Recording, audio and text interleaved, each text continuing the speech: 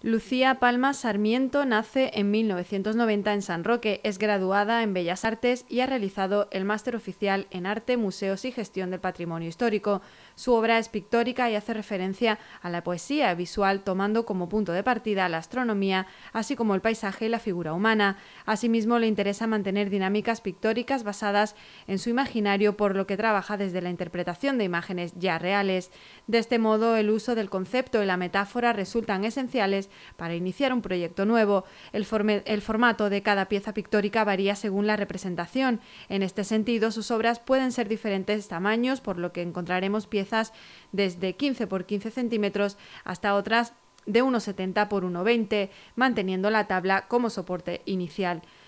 En cuanto a la estética de su obra, esta supone el resultado de la experimentación con materiales tradicionales como por ejemplo el pan de oro, al que le adjudica nuevos valores estéticos. Actualmente cuenta a su favor con un recorrido expositivo de manera consecutiva, iniciado en el año 2020 y espera que el horizonte profesional ahonde en nuevas formas de representación, investigación de materiales y recursos técnicos que realcen la identidad de su trabajo.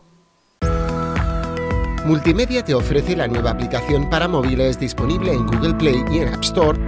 Descárgate ya nuestra aplicación y disfruta de tu televisión en el móvil y mucho más.